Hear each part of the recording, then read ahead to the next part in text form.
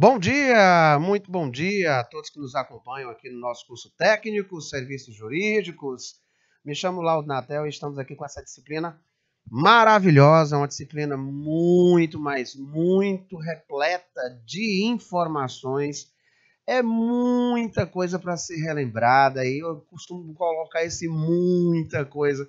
Por quê? Porque é sempre muito bom né? estar recorrendo à história, recorrendo aos estudos antigos, fazendo um processo comparativo com os nossos dias.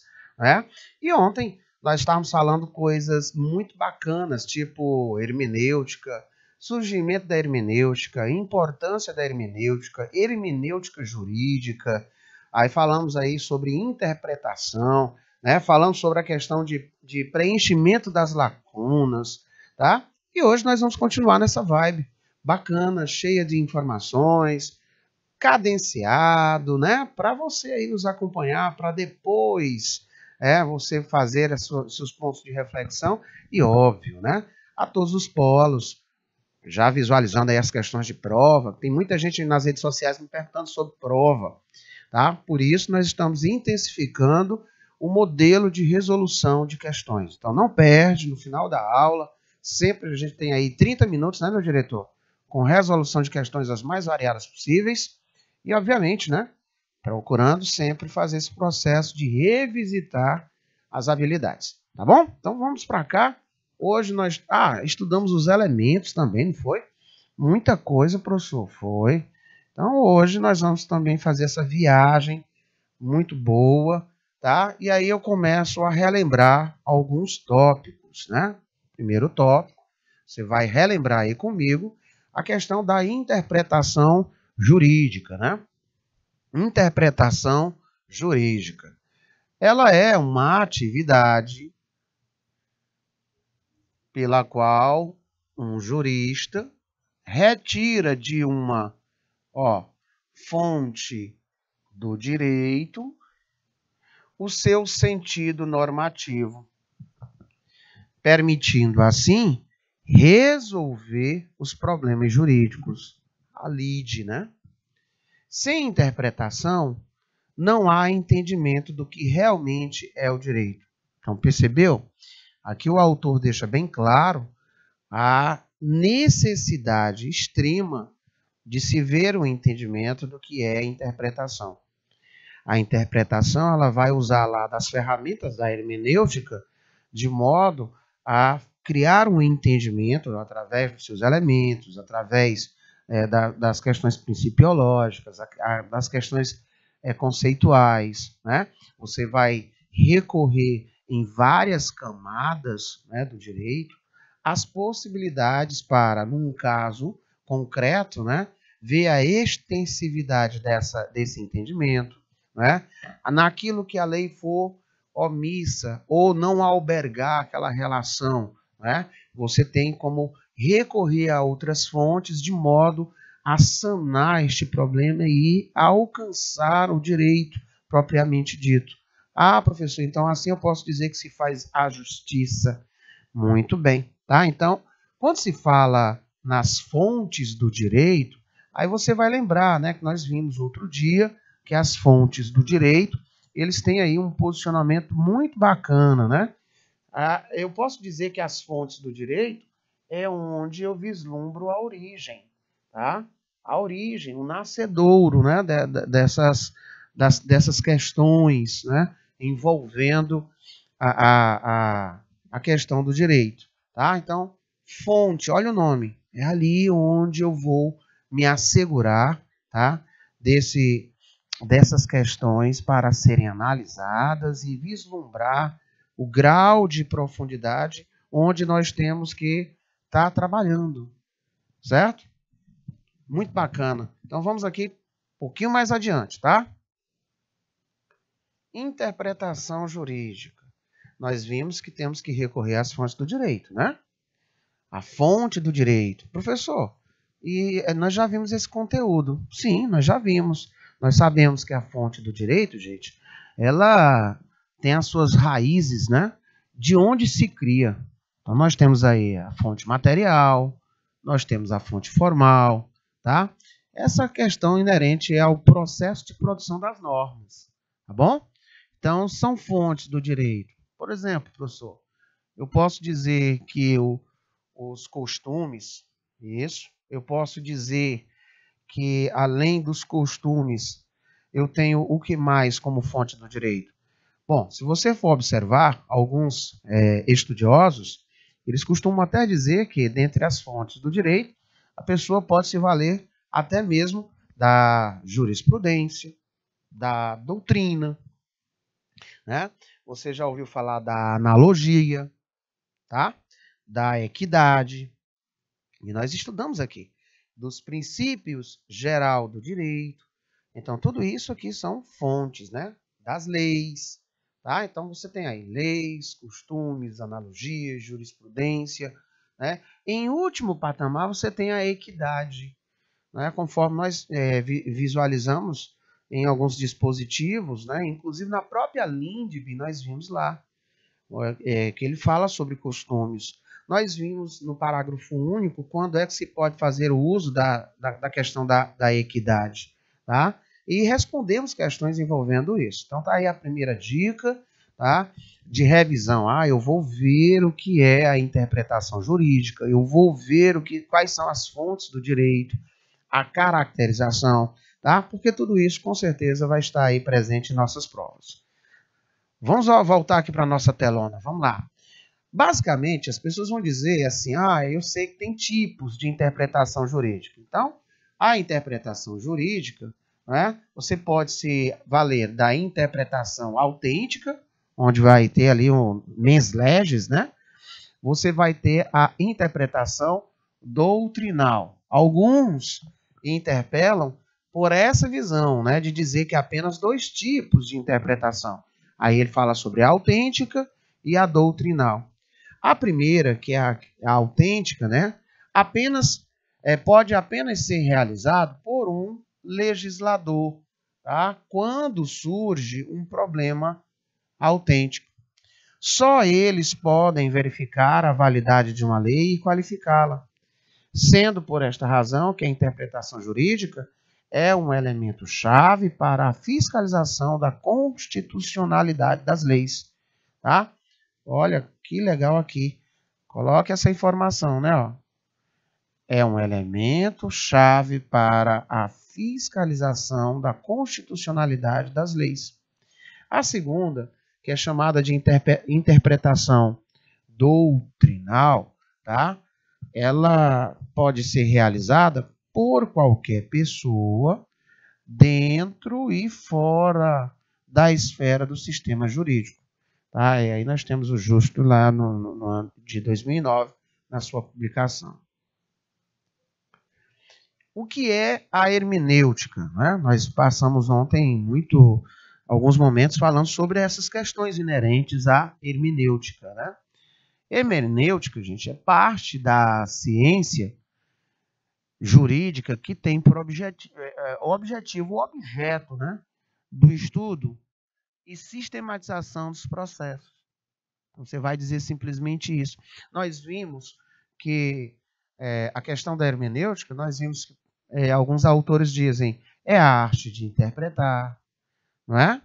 Ela vai nos fornecer muitas ferramentas para que você possa ter uma alcançabilidade ainda maior, um alcance maior no quesito entendimento, né? A, a gênesis, né? A questão inerente ao que está além ali tem a lei e aí eu tenho como ter várias outras perspectivas de modo a alcançar o direito, de modo a salvaguardar esses direitos, os deveres, tá? E isso é muito bacana. Então, a hermenêutica jurídica é o ramo da teoria geral do direito destinada ao estudo e ao desenvolvimento dos métodos e princípios da atividade de interpretação. Então, a interpretação ela vai usar essas ferramentas para atingir o seu bem maior, né? Ele vai fazer com que aconteça, né? Olha que, que, que coisa fantástica, né? Massapê, muito bom dia. Massapê do Piauí, a unidade escolar é o Rafael Manuel da Costa. O professor mediador, doutor Marcos Rogério. Tudo bom, doutor? Então, olha, falando nessa questão, falou em hermenêutica, os senhores vão lembrar o quê? Ah, são ferramentas que vão propiciar a interpretação jurídica, tá? Aí você vai ter que lembrar quais são os elementos da interpretação jurídica. Certinho? Sempre mentalize isso. Que é a hermenêutica? O que é a interpretação jurídica? Sempre vai se fazendo esses questionamentos. Então, na aula de ontem, nós vimos que hermenêutica, né, ela é a arte de interpretar. Ela, ela vai paramentar aquele intérprete da lei de várias ferramentas, ferramentas essas que ele, ele vai fazer uso para atingir o bem maior. Né? Então, a finalidade da hermenêutica, enquanto domínio teórico, é proporcionar, olha o que eu estava dizendo para vocês, as bases racionais e seguras para uma interpretação dos enunciados normativos. Então, pronto. Agora eu já sei o que é, professor. Então, a hermenêutica parte da ciência jurídica que tem por objeto estudo, sistematização dos processos, tá? Que devam ser utilizados aonde? Na interpretação, para que essa interpretação possa ser realizada, de modo que seja alcançado da melhor maneira possível, tá? Professor, e a interpretação? Aplicar as regras que a hermenêutica né, sugere, tá bom? E aí você vai ter um melhor entendimento dos textos, o quê? Legais, tá? Então, gente, na aula de ontem nós vimos os métodos de interpretação. Quais são os métodos de interpretação? Deixa anotado no teu caderno. Olha lá. Né? Nós vimos que temos o gramatical, nós vimos o sistemático, nós vimos o histórico, nós vimos o teleológico, né? e vimos que a questão do teleológico em nada tem a ver com a questão religião. Tá? Nós vimos, inclusive, o sociológico. E aí fizemos uma abertura para relembrar a questão das técnicas de interpretação jurídica. Então, ó, se eu tenho os métodos da interpretação jurídica, que é gramatical, sistemático, histórico, teleológico, né? Teleológico, axiológico, sociológico, você vai lembrar quais são as técnicas de interpretação jurídica. você tem lá analogia, você tem costume, tá? Você tem princípios gerais do direito, você tem a equidade, e nós vimos em que momento né, pode-se fazer o uso da equidade. Tá? Nós já respondemos, inclusive, várias questões falando sobre esses itens. Então, fica aqui sacramentado que, com certeza, quem vai é, é fazer uma prova no curso técnico de serviços jurídicos, né, que vai fazer uma prova da nossa disciplina, Introdução ao Estudo do Direito, é uma, uma, uma, uma disciplina muito extensa, de extrema importância, uma disciplina propedêutica. Ela vai sedimentar, ela vai nos dar base para reconhecimento ó, teórico, conceitual, de definição, de relação com o nosso tempo, de relação com as atualidades pertinentes à área jurídica, tá? É aqui onde você vai lembrar o que é que é uma lei, o que é que é uma norma, o que é uma sanção, tá? o que é ordenamento jurídico, o que é uma jurisprudência, uma súmula. É, é aqui onde nós vamos ver vários conceitos né, de estudiosos, doutos, né, de juristas renomados, falando lá da, da, da questão como é que eles enxergam o direito, qual é a importância do direito para a sociedade. Então, já é o caminho aí de resolução de prova. Então, para você que depois vai pegar a aula gravada, ver a reprise, vai anotando esse ponto a ponto e vai pegando as aulas dos slides, você vai ver até onde nós fomos, tá? Porque aqui, para o técnico, a gente tem que fazer um filtro, né? Eu não posso aqui estar querendo nos aprofundar é, igual o, o, o bacharelado em direito, tá? Mas eu vou repassando aqui a base de uma maneira qual a tua leitura ela fique equilibrada e quando você for ali trabalhar no meio, né? E você for, digamos, é, a dar auxílio é, àquele que tem qualidade postulatória, você vai demonstrar que você tem uma, uma boa base e aí, com certeza, você conseguirá galgar êxito, né? Já tive aqui alunos da tarde me dizendo, professor, quando eu terminar meu ensino médio, quando eu terminar esse curso técnico, o meu projeto de vida é passar no curso de direito. Posteriormente, eu vou passar no OAB. Eu digo, opa, olha os nossos amigos aí aparecendo. Então, essa é a funcionalidade maior. É acordar. Ah, eu não vou fazer um curso de direito, mas acordar para a necessidade de se visualizar o direito na qualidade de um marco né, em nossas vidas em sociedade. É como diz Miguel Reale, o direito é fato social. Ele surge a partir do momento não é, das relações é, em sociedade. Essas relações que eu estou falando, elas são umas, as relações que eu digo numa visão macro. Tá? Então, nós vimos em vários momentos que o direito ele tem também esse, esse poder. Né? Ele vem no, no, no, nos orientando, ele vai norteando os caminhos em que a sociedade deva se comportar. Então, essa previsibilidade de conduta, ela é necessária para que tenhamos aí uma vida urbânica, uma vida né, na tranquilidade. Por diversas vezes eu fiz, inclusive, uma pergunta para vocês dizendo o seguinte: já imaginou se não existissem as leis? É, alguns me responderam, isso seria um perfeito caos. E já imaginou se nós não tivéssemos, por um exemplo, tivéssemos a lei e não tivéssemos ali, dentro daquela norma, uma possibilidade de uma sanção jurídica, não é? De nada valeria, certo? Ah, isso lei aqui ninguém nem observa isso aqui, não, tem, não vai ter nada se a gente é, ultrapassar essa limítrofe jurídica, tá? Então é para esse entendimento, para esses que ultrapassaram os limites, né? A limítrofe jurídica, é que se faz necessário o entendimento dessas ferramentas da hermenêutica. E é por isso que alguns doutos né, chamam de a arte de interpretar. Tá?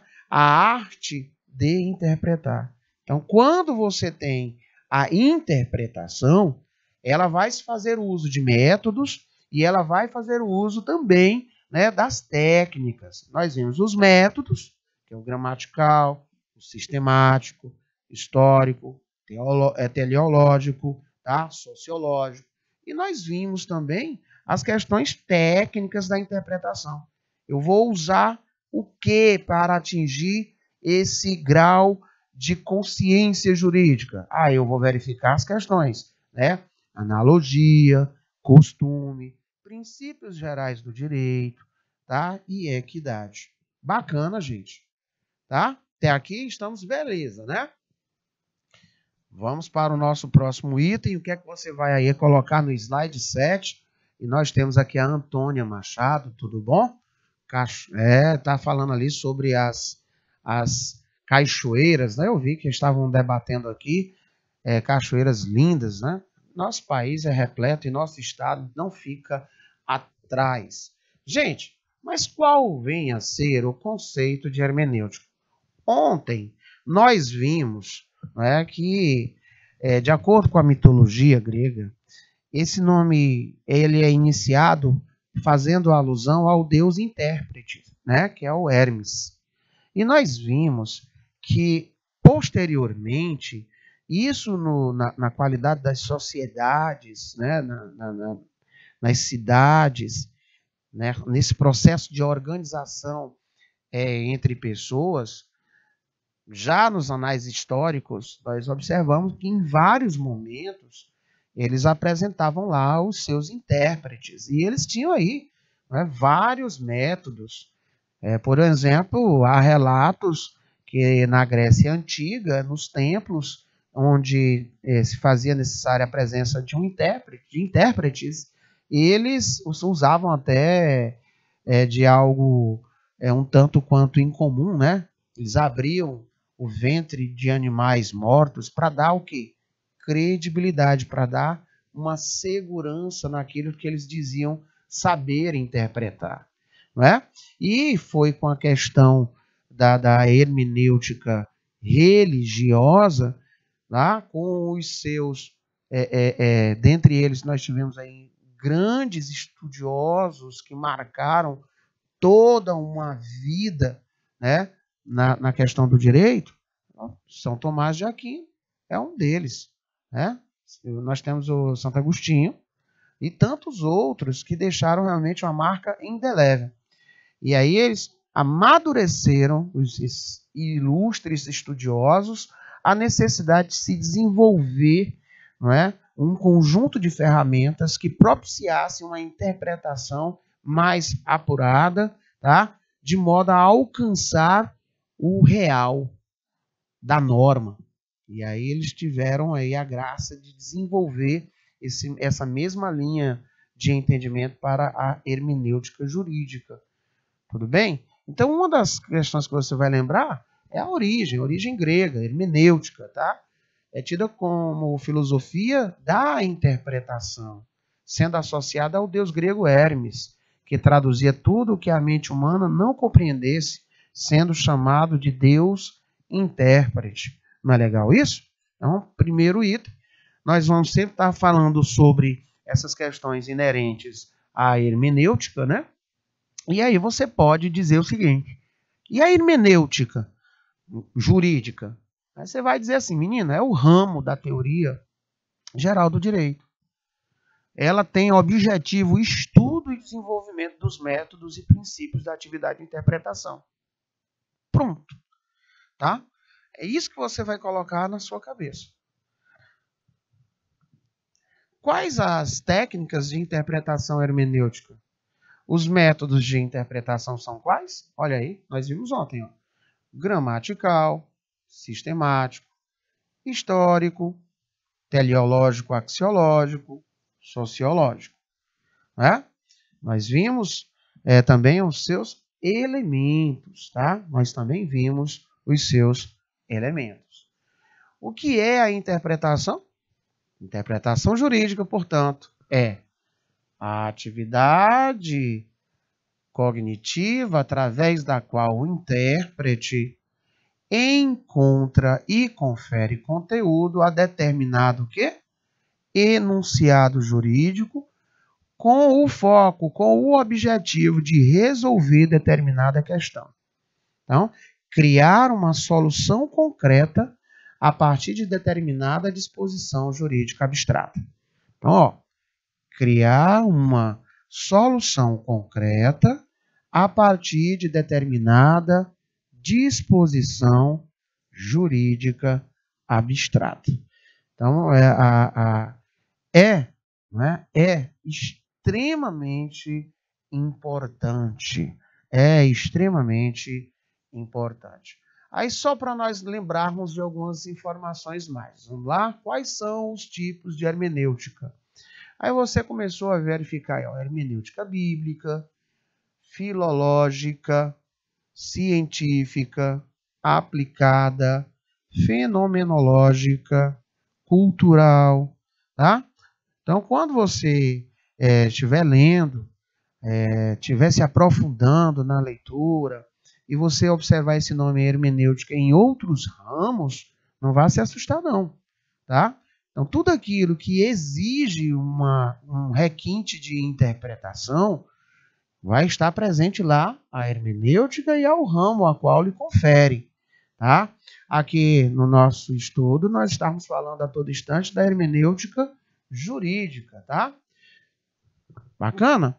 Então, nós vamos aí agora um pouquinho, falar um pouquinho sobre as fontes do direito. Gente, você percebe a todo instante que essas ferramentas elas são altamente necessárias para se ter um grau de, de solução mais, né, de, de maior convencimento a atingir o direito real. Isso não é palavra minha, isso é de um grande estudioso. Mas, quando se fala na arte de interpretar, você observou que a interpretação ela vai percorrer caminhos de modo a verificar a máxima né, de entendimento para a solução daquele problema jurídico. Aí, todo instante, nós estávamos falando em fontes do direito. Né? Esse fontes implica em dizer tá, a nascente, a gênesis, o início, né? é onde se encontra o direito. Então, fonte é tudo que dá origem, início, tá? Por assim dizer, fonte do direito nada mais é, né, nada mais é do que a origem do direito. Marca aí bonitinho, colocando assim uma linguagem bem acessível para todos nós, porque é extremamente importante nós compreendermos e depreendermos, tá? Então, fonte do direito nada mais é do que a origem, né? Origem do direito, as suas raízes históricas, tá? De onde se cria? Então, as raízes históricas. Isso veio de onde, né? Olha só, de onde se cria. Então, estou falando de fonte material. E como se aplica? Quando se fala na aplicabilidade, tá? Quando se fala da maneira como se vai aplicar, aí você passa a falar da fonte formal. E nós vimos que vários autores, vários estudiosos, juristas, eles não chegam a um consenso. E aí eu trouxe para vocês, inclusive, aí, citações dos livros variados, dentre os quais Miguel Reale, né? onde ele diz que a fonte histórica é nicho de uma outra ciência, e aí ele disse a sociologia, que por conseguinte nós estávamos estudando né, uma época das escolas e vimos ali a questão do justnaturalismo, do justpositivismo, e vimos os maiores pensantes é, de todas as épocas, e chegamos ali naquele período da França, e nós vimos ali os primeiros rab, ras, é, rabiscares da sociologia. Né? Nós vimos a necessidade de ter a ciência sociológica para o estudo comportamental da sociedade. E isso se deu né, naquela questão da, da do, do, do, veio capitalista, né, onde aconteceu aquela demanda das questões industriais lá na Inglaterra, e aí observou-se uma grande concentração de pessoas para fins, né, obviamente, de, de realização pessoal, e ali o direito ele precisou recorrer a, este, a esta importante ciência, a ciência da sociologia. Tá? E como fez uso daquela época até os dias de hoje, né? daquela época até os dias de hoje. Então, se você observar, a cada leitura que nós fazemos, você vai sempre estar lembrando, ó, França, Inglaterra, Alemanha, não é? Aí você às vezes vai ouvir civil law, common law, né? Você vai ouvir falar em direito, em dever, é tão tal que ele vai te dar uma, uma, uma um, um vocábulo em inglês para você entender melhor. Porque quando nós falamos direito aqui no Brasil, nós pegamos um pacote completo, né? Mas quando eu falo law, que é lei, e rights, que são os direitos, no inglês eu consigo desassociar, né? Eu consigo fazer essa divisão e fica melhor a compreensão. Então você vai ver a questão do, do, do direito canônico, tá? Não só nesse bloco, você aqui no, no curso técnico né, de serviços jurídicos, você vai ter que sempre estar recorrendo à história e à evolução da sociedade para você poder entender a evolução do direito enquanto ciência. Né? E isso você vai ver é, é, mesmo em disciplinas mais específicas. Né? Para que uma disciplina mais é, atuante no nosso dia a dia do que a questão do direito processual civil, do direito civil, do direito constitucional. E isso tudo faz parte aqui da grade de estudo. É introdução? É, mas não deixa de ser interessante. Você vai ver que nós, enquanto sociedade, nós respiramos o direito. É por isso que nós vimos em aulas outras que os grandes é, estudiosos dizem que a sociedade está para o direito, assim como o direito está para a sociedade. É de extrema importância nós compreendermos isso.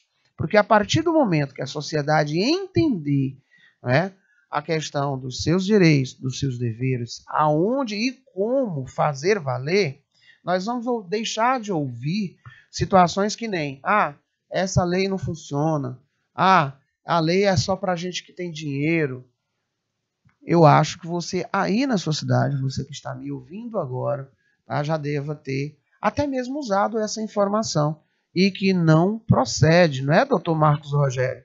O direito, ele está para todos nós, independente de cor, independente de credo, independente de raça, de termos ou não termos dinheiro. Né? O que falta à sociedade é, brasileira é mais conhecimento nessa área. Tá? Às vezes você tem um direito e às vezes você observa que a pessoa nem sequer se apercebe disso. Ela diz: Eu nem sabia que eu tinha esse direito. Entende? Então, hoje, é necessário fazer o que vocês estão fazendo: ir atrás da informação. Tá? Então, isso é louvável. Parabéns a cada um de vocês. E a gente realmente vê que tem tudo para nós termos uma, uma, um futuro com outros valores e isso é representado através dos alunos, de todos nós, né? Porque eu sou também aluno. Né? Eu sou um eterno aprendiz. Tá bom? Então vamos para cá, senhores. Então nós vimos aqui uma, uma, uma informação legal. Ele disse assim, bem claro, né? Que as fontes do direito, de uma maneira bem direta, ele dividiu aqui em fontes material e fonte formal. Então, o processo de produção das normas é a fonte formal. Então, você pode até colocar que o processo de produção das normas é a fonte formal. Então, quais seriam mesmo, professor, as questões das fontes do direito? Eu já coloquei aqui para vocês, ó, nem bater em cabeça. Então, questão de prova.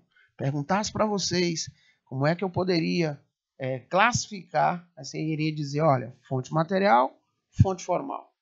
Tá? A material é a raiz, é o nascedouro. Né? E a formal é como se aplica, certo? Aí você vai ver que eu posso chamar de fonte do direito as leis, os costumes, tá? jurisprudência, doutrina, analogia, princípio geral do direito, equidade, tá? Então é a primeira coisa que você tem aí que fazer esse balancete, tá? Você vai dizer assim, menino, eu posso dizer que são fontes do direito, né? Leis, costumes, jurisprudência, doutrina, analogia, princípio geral do direito e equidade. Fosse uma questão de prova. E aparece, aparece muito, senhores. Tá? Ele vai te dar um texto introdutório, um texto onde você vai usar como referência, e ele pode né, pedir, inclusive, dentre as fontes do direito, qual texto se refere. Aí você vai ter que lembrar, né? A, a, a conceituação, a definição de lei, de costume, de jurisprudência. Então tá aí uma dica, né? Então, Miguel Reale, que é conhecido como o pai do Código Civil de 2002, é, diz que as fontes do direito são os fatos jurídicos. Ele gosta de se dar assim. né, são os fatos jurídicos de que resultam as normas, não sendo objetivamente a origem da norma, mas o canal pela qual esta se torna relevante.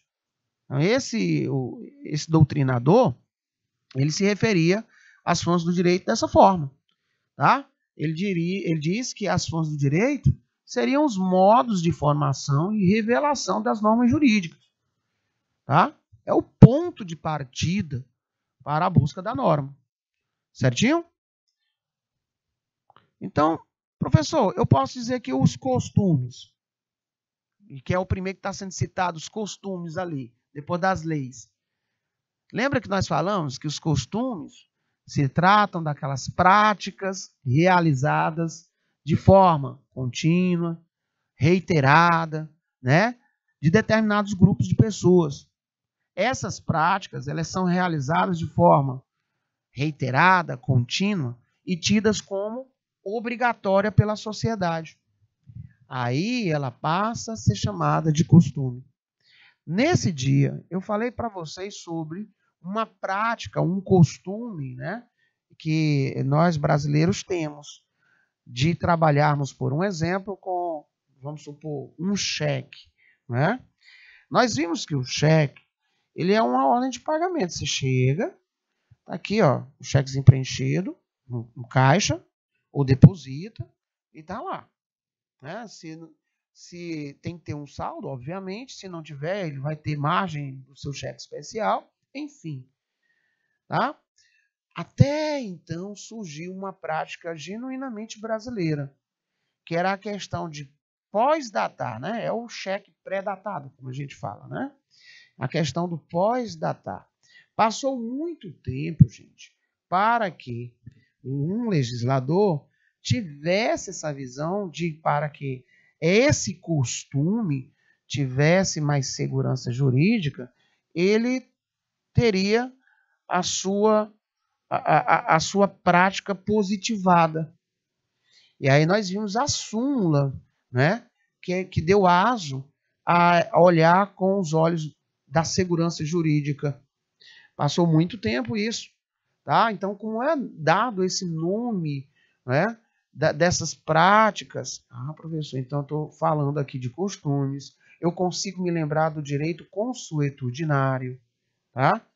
Então, são esses, são esses pontos que os senhores vão ter que estar lembrando para o embasamento de prova, tá bom? Então, quando ele falou aqui, ó, costume, ele está dizendo, ó, o costume, ele tem que ser uma prática reiterada ele tem que ser uma prática né, contínua, tá? E que a sociedade veja na qualidade de essencial, obrigatória, tá? Aí ele é chamado de costume e aí também passa a ser fonte do direito, tá bom? Professor, mas eu vi outras coisas ali também, ó. Eu não me lembro, por exemplo, que é jurisprudência. Nós vimos que jurisprudência, senhores, é aquele conjunto de decisões e entendimentos que os tribunais têm acerca de um tema. Tá? É uma espécie de histórico, gente, das decisões tomadas pelos tribunais sobre temas semelhantes que apontam para uma mesma direção. É a jurisprudência. Né? Professor, e equidade? Bom, o dicionário Michaelis fala que equidade pode ser definida como uma justiça natural. Disposição para reconhecer imparcialmente o direito de cada um. Significa reconhecer que todos precisam de atenção, mas não necessariamente dos mesmos atendimentos. Tá? E doutrina? Você está vendo ali, é, é, doutrina, né? Nós vimos assim durante o, os nossos estudos, olha, doutrinador fulano de tal, né? Pois bem, já a doutrina, senhores, ele é aquele conjunto principiológico de princípios, tá? De ideias, de ensinamentos. Aí é a doutrina de autores e juristas, que no caso servem de base para o direito. Então, por isso que cada advogado, Cada juiz. Tem aquelas bibliotecas bonitas, não tem? Muito provavelmente ali o, o doutor Marcos Rogério, lá de Massapê 2, ele deva ter lá os seus livros, né? assim como eu tenho assim muito ciúme dos meus livros. São livros realmente né, de um valor muito interessante e você tem que estar completamente atualizado. Né? Uma coisa que não nos pode faltar é leitura. Obviamente, ter boas coleções doutrinárias, né? ter bons livros, fazer aí parte integrante de bons sites jurídicos e a consulta ela é perene, porque cada lead, cada caso é um estudo. Você tem que se aprofundar naquele estudo. E aí você se aprofunda nas fontes do direito, você vai se aprofundar na interpretação, você vai procurar a hermenêutica, você vai atrás, sobretudo, não é? da doutrina, da jurisprudência, das súmulas, das súmulas vinculantes, tá? Você faz uso dos princípios, né, do princípio geral do direito, tá? Você procura da melhor forma possível a manutenção do direito para aquele problema, né, para aquela situação em concreto, tá? Então a doutrina por si só, ela pode ser dita assim: esse conjunto de princípios, conjunto de ideias esse conjunto de ensinamentos destes autores, destes juristas, que vão servir de base e que influenciam e fundamentam as decisões judiciais, meu povo. É fonte do direito, tá?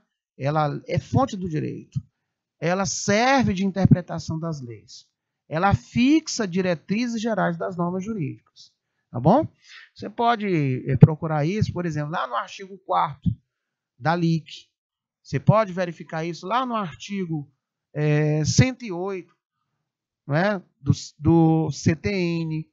Tá? E nós já vimos aqui também os vários momentos onde nós é, é, vimos o que é LINDB, o que é, que é LIC, o que é, que é CC, o que é, que é CDC, o que é, que é CPC, né? o que é, que é CP, o que é, que é CPP.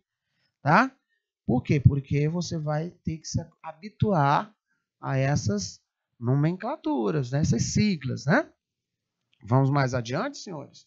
Então, sim, professor, posso dizer que fontes do direito, ela é uma expressão utilizada no meio jurídico para se referir aos componentes utilizados no processo de composição do direito.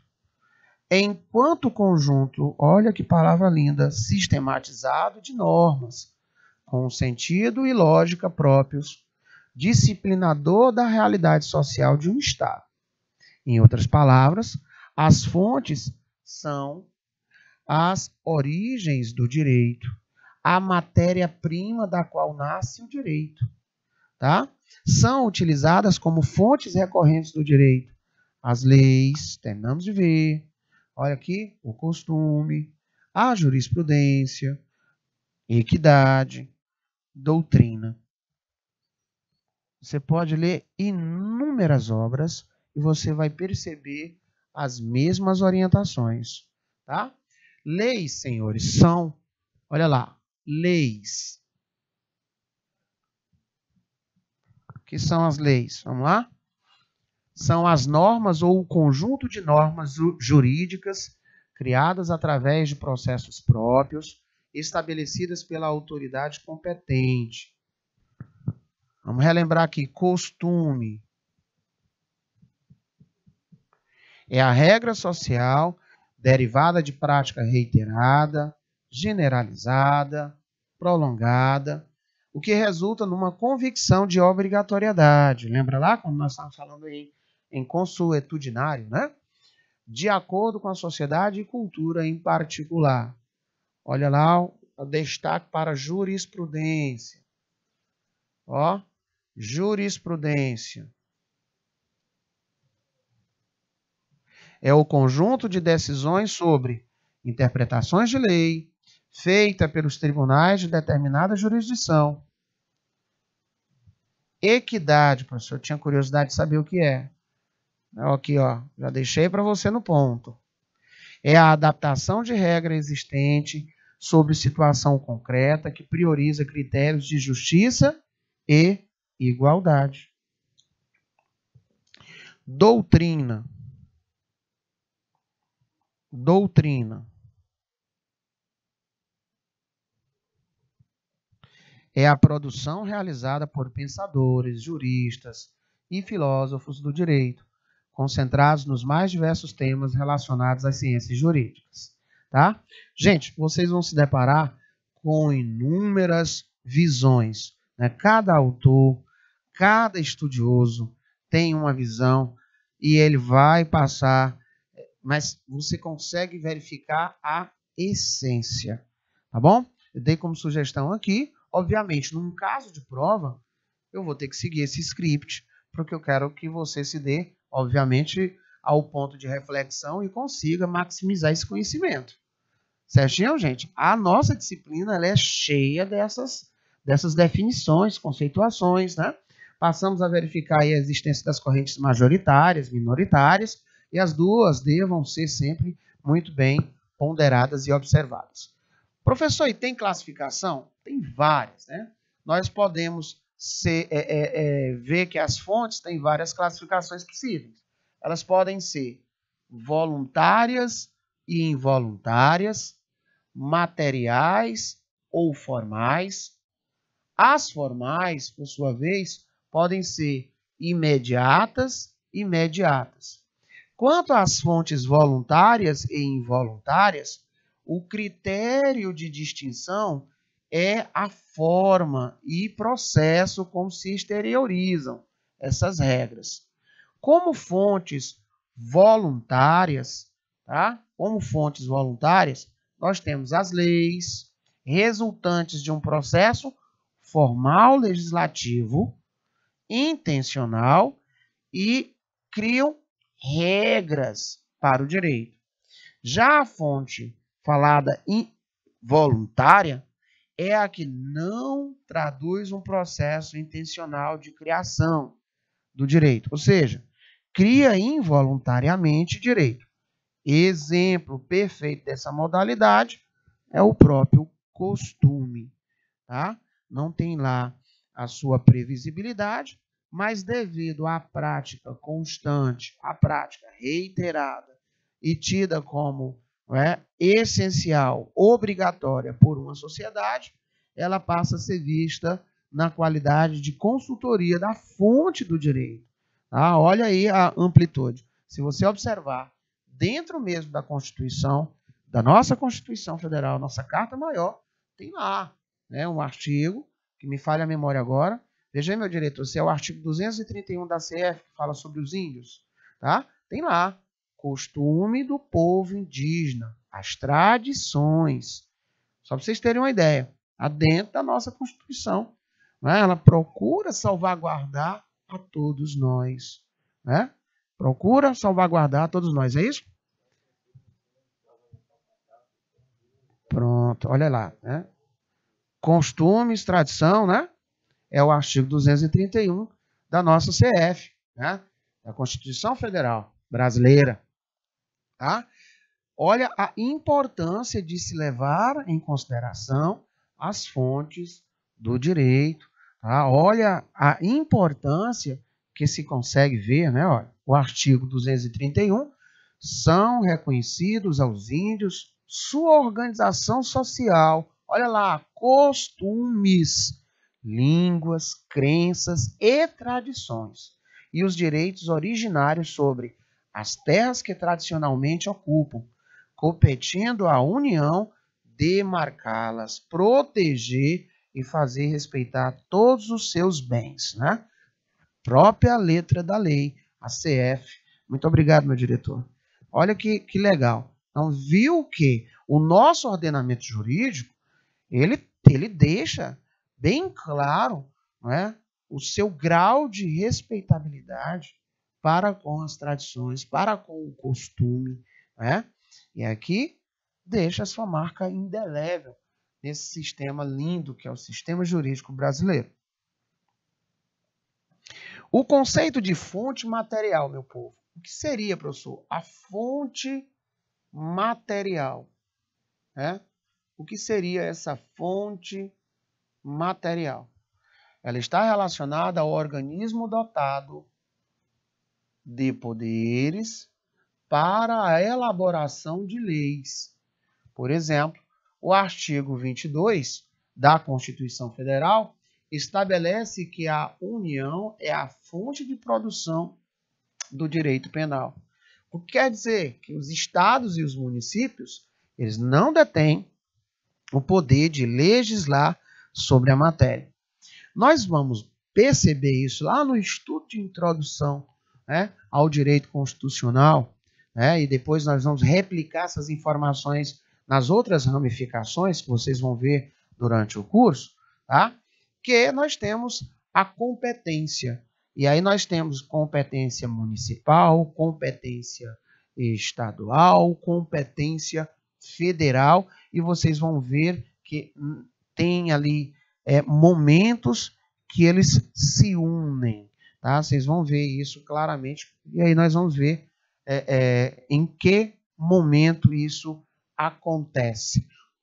Fontes formais. O que seriam as fontes tidas como fontes formais? Vamos lá? São aquelas pela qual o direito se manifesta. As fontes formais imediatas são aqueles fatos que, por si só, são fatos geradores do direito, como, por exemplo, as normas legais. As fontes tidas como formais mediatas, elas são os costumes, os princípios gerais do direito, a jurisprudência, a doutrina. No artigo 4 da Lei de Introdução ao Código Civil, tá? Olha aí o nome LIC. Temos que quando a lei for omissa, o juiz decidirá o caso de acordo com analogia, os costumes, princípios gerais de direito. Olha aí a orientação do próprio código. Tá? E isso é de extrema importância. Gente, finalizando aí o primeiro momento de nossa aula, nós vamos juntinhos aí até meio-dia e vinte, com muito mais informação e temos aí muitas questões a serem resolvidas ainda no dia de hoje. E a dica, né? Procure rever esse slide, reveja a aula. Tá? Tem muita, mas muito material para você ver. E ele foi feito desse tamanho com o propósito de fazer com que os alunos revisassem. É rapidão, no nosso break.